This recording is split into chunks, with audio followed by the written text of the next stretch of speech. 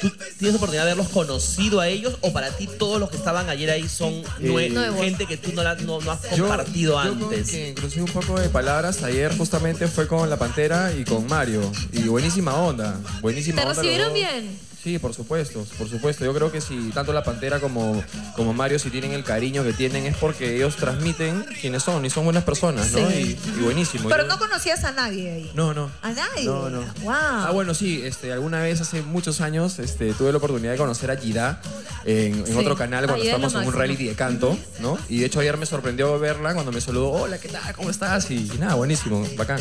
IEAT es súper buena onda. Si estás en el mismo equipo de IEAT, pégate a ella para que puedas, eh, para que te enseñe un poco de las competencias, porque también, aparte de ser buena onda, es una excelente competidora. IEAT es muy buena persona. Bien, buen dato ahí, buen dato. Eh, no sé si te diste cuenta, pero Alejandra Baigorria puso una cara así, como cuando, cuando te presentaron. Eh, No podía disimular, había como un fastidio en ella. Eh, de hecho, sí, vi el programa, eh, lo vi ni bien salí de la presentación, lo pude ver en, en YouTube.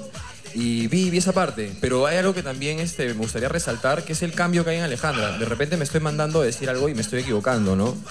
Pero a mí lo que me pareció fue que sí, en un principio como que, ¿no? Le, cho- le chocó aparentemente. Sí, fue- fue- pero fue- conforme se fue dando la entrevista de mi presentación, luego ya como que me parece que fue aceptándolo, por así decirlo. Bueno, que, creo que casi todos se sorprendieron. Yo también estaba en mi casa viendo y cuando dijeron Yapur Santamaría dije, ¿qué? No lo podía creer, ¿no? O sea, me quedé en shock. Y en Creo el público, bueno, todo. también lo que comentan en las redes es eso, ¿no? Yo creo que día a día vas a tener que ir ganándote el cariño de tu equipo, porque eso es definitivo en combate, ¿no? Tener el apoyo de No, los por fans. supuesto. Aquí el público dice precisamente en Twitter que merece una oportunidad. Espero que no la desaproveche, Jean Paul. Muchísimas gracias. Y que los demás no sean envidiosos.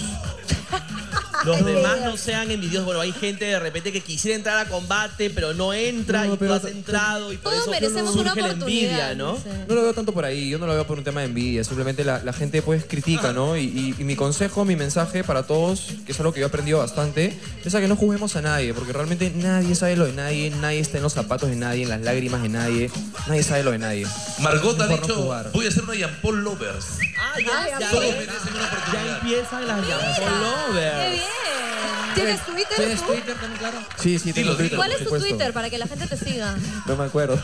Oh, Cualquier cosa en arroba ATVP, no hay problema. Ahí que escriban, ahí que Hasta que se escriban. hasta que se antes de ingresar con la moto ayer, ¿tenías miedo de la reacción de repente?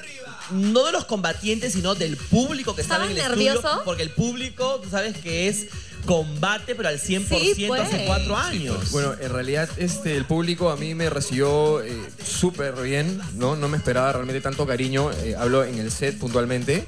Y con respecto a lo que tú me preguntas, estaba nervioso. Conmigo no, mira, yo algo que he aprendido a hacer es cada vez que tengo algo importante, en, ge- en general, desde que me levanto antes de acostarme, es encomendarme a Dios, persignarme, orar un poquito y dejar todo en sus manos, ¿no? Que sea su voluntad. Y eso fue lo que hice ayer y para mí salió increíble. Jean Paul, ¿cómo te sentiste con, con Piero y con Renzo, los conductores? Este, yo a, a Renzo lo conozco. Él me conoce desde bastante pequeño porque él ha sido de, de mi barrio, pues. Somos Ah, del mismo sí. barrio, sí, claro. ¿Qué barrio eres tú? De la residencial. Por supuesto, claro. Y nada, un saludo para toda la gente de Barboncito. Este, y bueno, nada, verlo me, me pareció súper bacán, ¿no? Tanto él como Piero me parecen unos tipazos los dos, ¿no? Totalmente impecables, sin nada que decirles, todo lo contrario. Eh, así que nada, buenísimo trabajar con ellos.